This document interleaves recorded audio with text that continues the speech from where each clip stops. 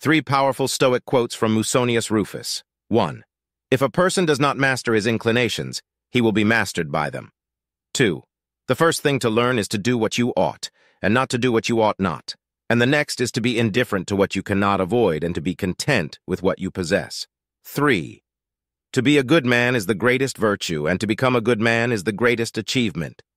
Join us to improve yourself every day.